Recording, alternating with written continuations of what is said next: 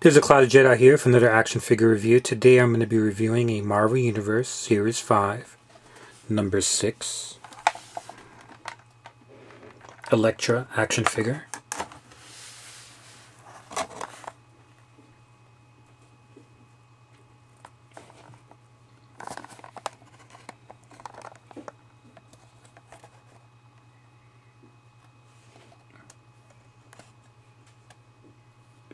Looks like she comes with two sai weapons.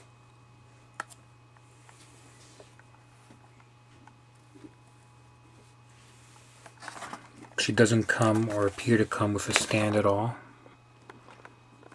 Or any other accessories. Okay, Series 5. Number 6, Elektra. Born without superhuman powers, this mercenary has turned himself into one of the world's most feared masters of martial arts. Some of the other action figures in this line are Iron Spider, Silver Surfer, and Iron Fist. Collect them all.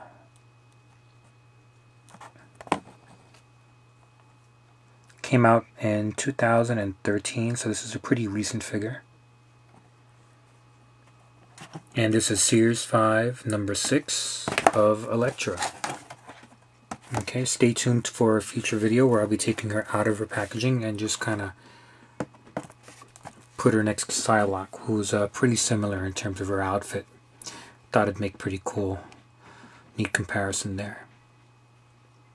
Okay, well, thanks for watching. This has been the Closet Jedi, and uh, hope you enjoyed the video. Thanks a lot.